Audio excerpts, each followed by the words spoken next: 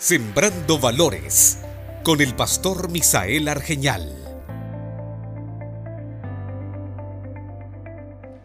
La sensibilidad.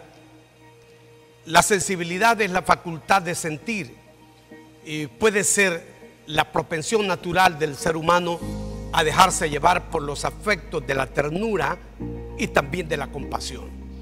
El valor de la sensibilidad reside en la capacidad que tenemos los seres humanos para percibir y comprender el estado de ánimo, el modo de ser y actuar de las personas, así como la naturaleza de las circunstancias y los ambientes para actuar correctamente en beneficio de los demás.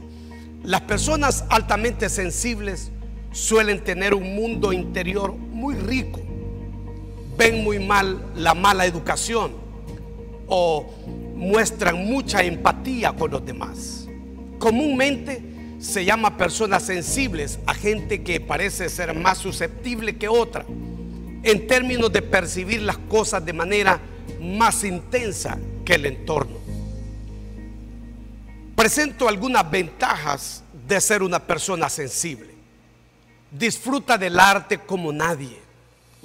Te emocionas con facilidad ya sea con una película, una obra de arte, un libro y también a la devoción.